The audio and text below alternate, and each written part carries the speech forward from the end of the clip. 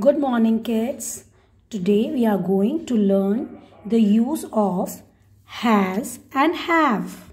We are going to learn the use of has and have.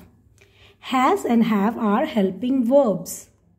ये क्या होते हैं हेल्पिंग वर्ब्स होते हैं एंड दे डिनोट पोजेशंस वो पोजिशन बताता है मेरे पास मेरा like, और कैसे यूज़ होते हैं has is use with singular subject and name of a person कोई भी एक चीज़ होगी, एक सब्जेक्ट होगा तो हम यूज़ करेंगे हैज़ और कोई भी प्लूरल सब्जेक्ट होगा और एक से ज़्यादा पर्सन की हम बात करेंगे तो हम यूज़ करेंगे have we will use have for example Ram has a book ये सिंगुलर नाम है राम एक पर्सन का नाम है so we are using has अब यहाँ पे सब्जेक्ट में बाइक्स है तो एक से ज़्यादा हो गई more than one plural bikes have two wheels हमने हैव इसलिए यूज़ किया है।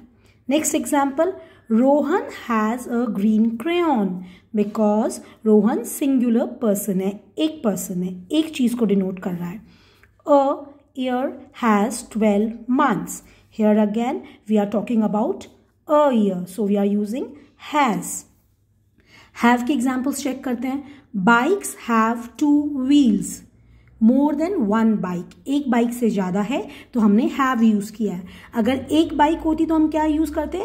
Bike has two wheels now Ram and Rohan यहाँ पर एक से ज़्यादा चाइल्ड बच्चे हैं। एक से ज़्यादा बच्चे हैं। राम होता तो एक बच्चा होता। राम एंड रोहन कितने बच्चे हैं? Two kids are there. So we are using have. Ram and Rohan have crayons.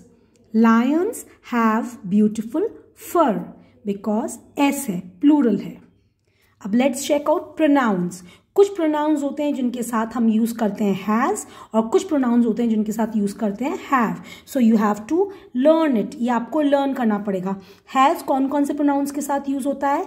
She he and it has कौन कौन से प्रोनाउन के साथ यूज़ होता है she he and it and have कौन से प्रोनाउंस के साथ यूज़ होता है I you they and we we use have with I you they and we I repeat pronoun pronoun has is use with she he it and have I, you, they, we.